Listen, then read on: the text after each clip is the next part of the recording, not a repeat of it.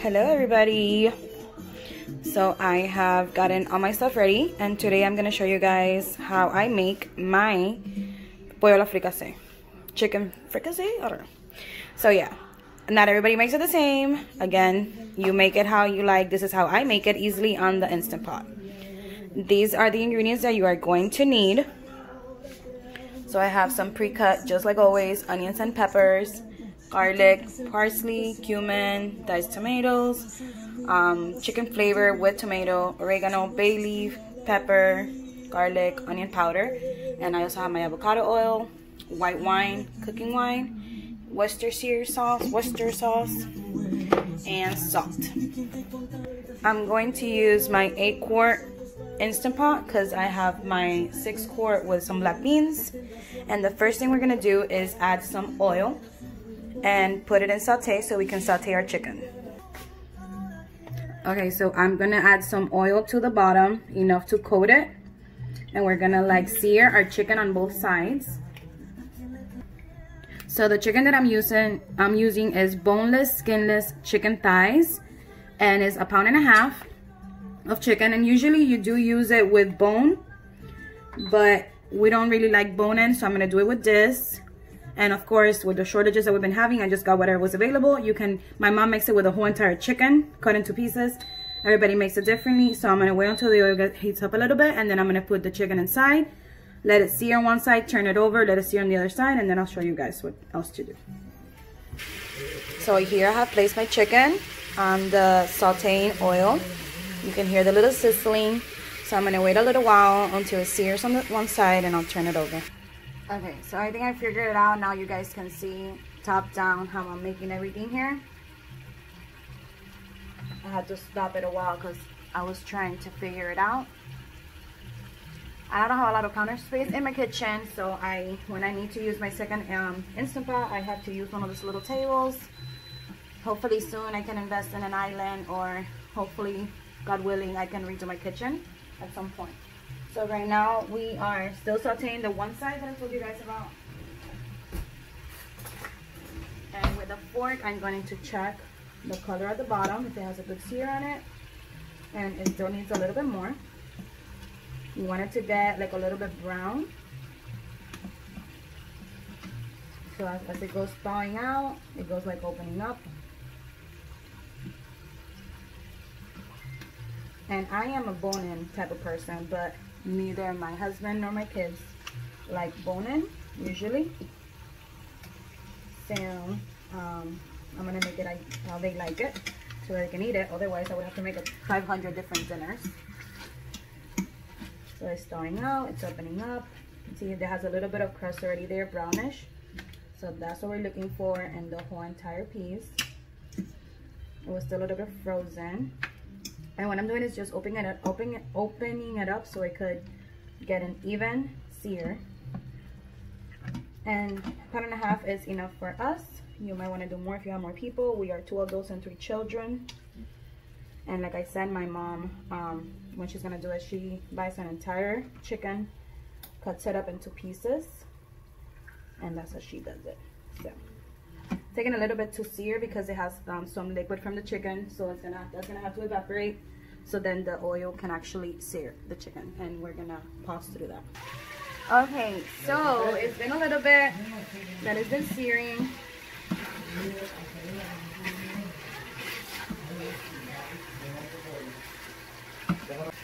Okay, so now we are gonna turn our chicken over. I'm tired of waiting.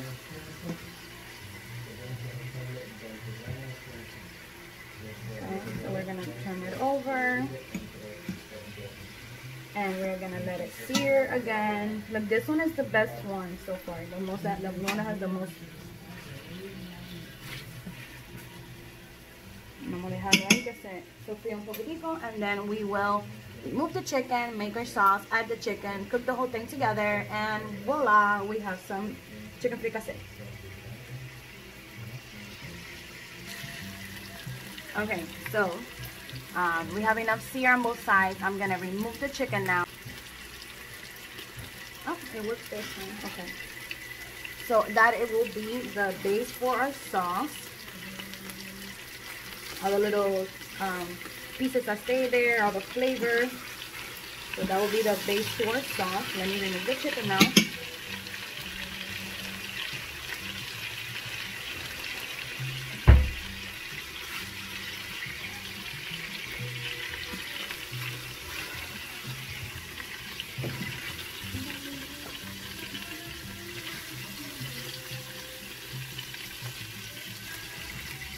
Okay. So now what we are going to do to this is we're going to add a little bit more oil.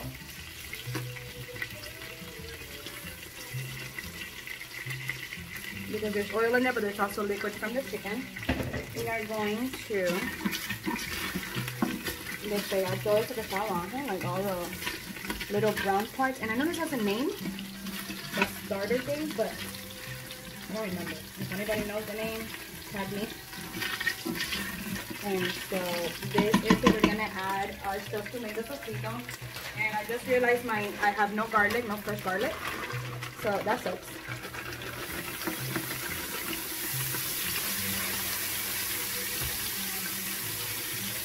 So there's the cut onions and peppers. You can also do it fresh. I have I buy it already pre-cut in Walmart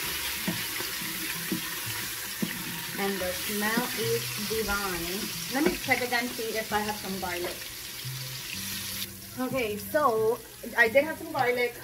Um, only some pieces, but that's fine. I know how it looks right now, but nothing is burnt. That's just the pieces of chicken that stuck to the bottom. That got a little brown, and that's fine. I wish you guys could smell how good it smells right now. I'm just gonna let the garlic saute for a tiny bit.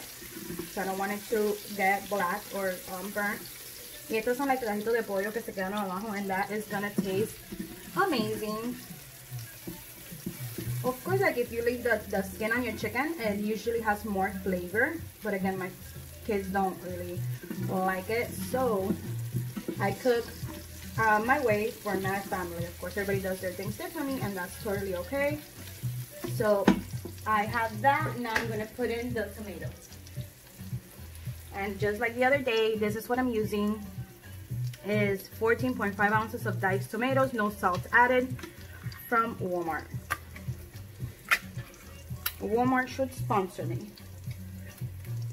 So we're gonna drop that in there.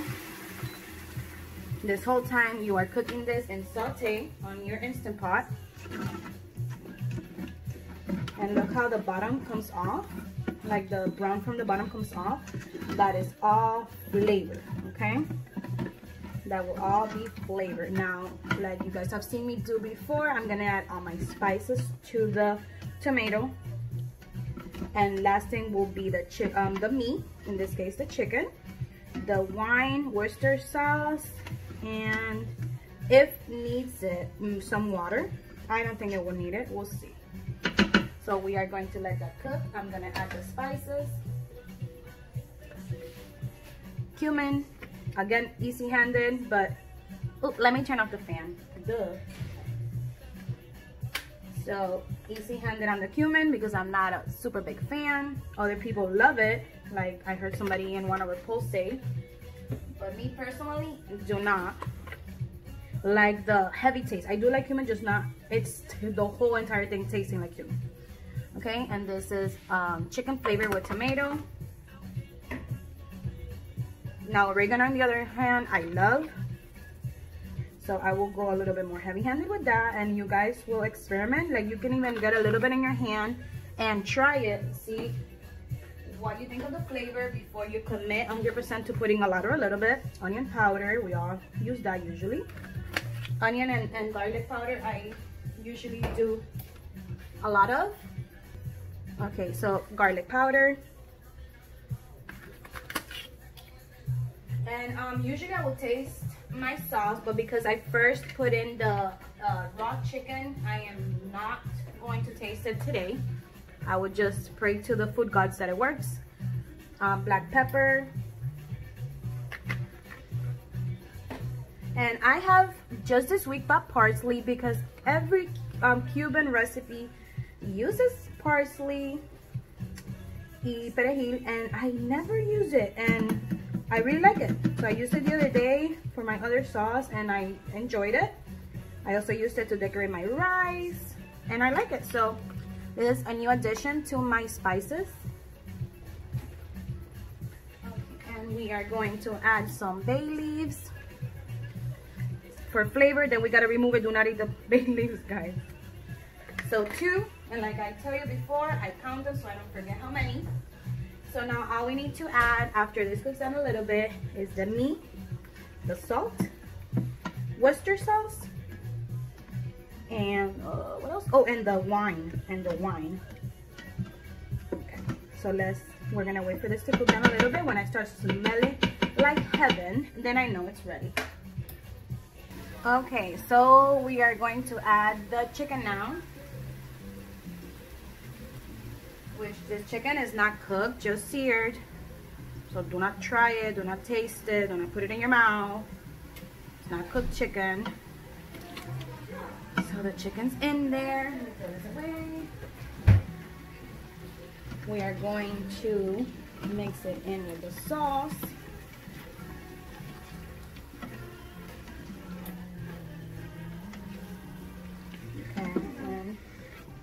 Get it all there red and beautiful and yummy. Okay, now let's make sure that all of them are on the bottom. Entonces vamos a agregarle un poquito de Worcester sauce. I don't measure anything. I just put until my heart is content. And we are going to add some vino de cocinar, dry wine, dry white cooking wine. I got all of this is at Walmart.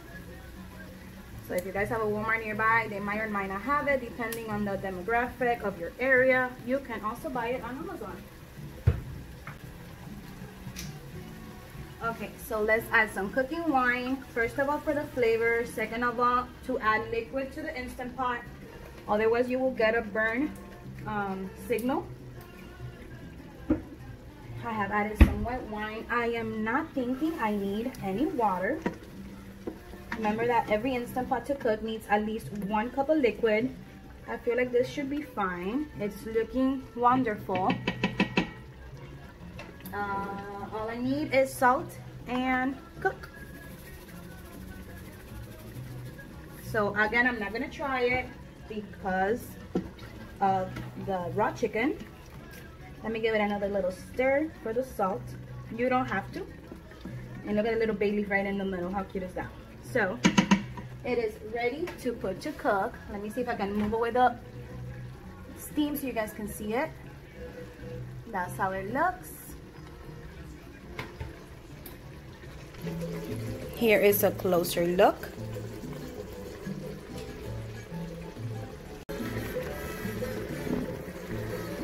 Here is a closer look of the chicken right before I put it to cook.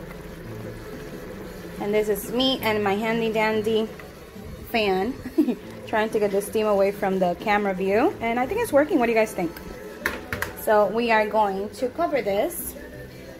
Uh, both the Instapot 6 and a quart are in my product list. We are going to press seal and we are going to, first you got to cancel so you can actually put it to cook. And we are going to do poultry. So 20 minutes. Now, some people add potatoes, and I probably will. Let's see. But we will add the potatoes when the chicken is done, and then we would cook it for about 5 minutes. So if you're to add the potatoes and the chicken is 20 minutes, you will only cook it for 15 minutes. Um, manual release, add potatoes, cook for 5 more minutes. Otherwise, the chicken will get super, super soft, mushy, but it's good as well. So it doesn't really matter. But yeah, that's how it works. And now I will bring you guys back once it is done. And like I had said before on the other pot I have black beans which all I have done is soften them. They are not seasoned yet and I do have a video cooking my black beans so I will link it so if you guys want to see it. We are going to pair our chicken with white rice black beans and some maduros which these are the maduros that I'm going to use uh, first time I'm going to try them I tried the tostones um, a couple of weeks ago, a couple of weeks, a couple of days ago, and they were absolutely amazing. Tasted fresh, like if I had just cut a bunch of plantains. So yeah, this is what I am going to pair with my chicken. So the time has passed. I did manual release on my chicken. And now let's get a fork to see what it's looking like. So this is our chicken. This is the sauce. Now I'm going to turn on my chicken and saute again. And that is just to, so for some of this liquid to evaporate, for the sauce to thicken a little bit. But just as it is right now, it is perfect to eat with some white rice and put all this salsita over it. So, mira qué lindo. Mira, that one turned around. Qué belleza. Quedó perfecto. El pollo está súper suavecito. I'm not going to say falling off the bone because it's boneless, but bien suavecito. Ready to eat.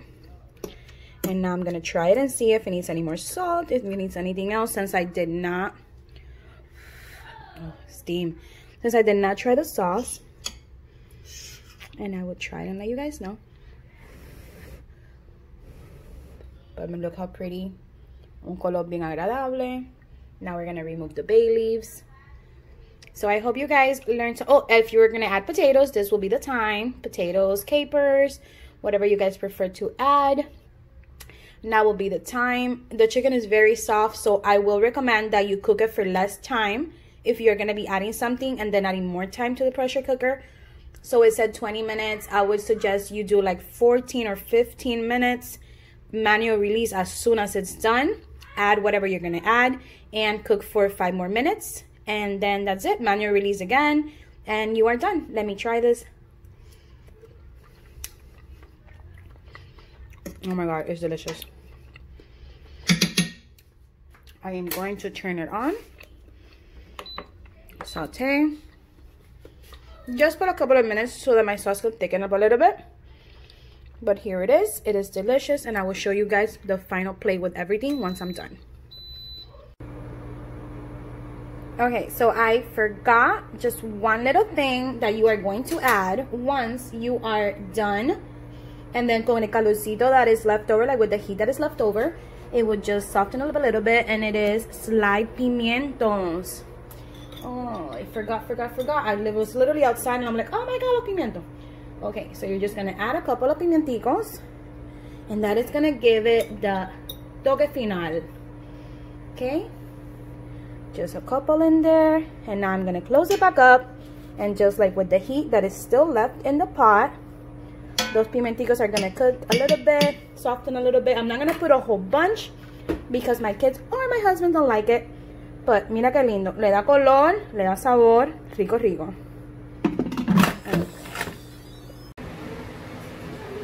I just realized that I forgot to um, record once the chicken was done and I plated. It.